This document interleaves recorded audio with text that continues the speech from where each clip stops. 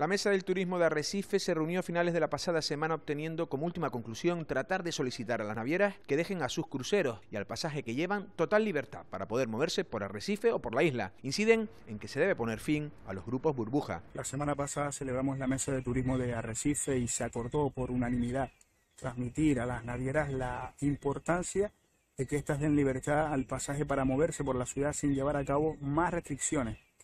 A nuestro juicio, el bajo nivel de incidencia y la alta vacunación hacen que ya no tenga sentido, más cuando hay otras compañías que ya no ponen en práctica los conocidos grupos burbujas.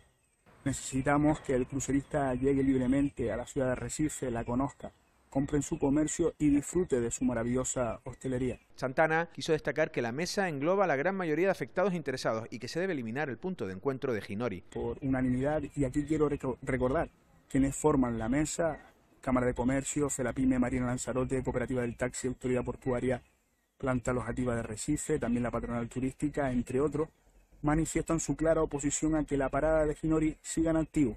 La mesa entiende que la entrada natural a la ciudad de Recife a través del mismo puerto.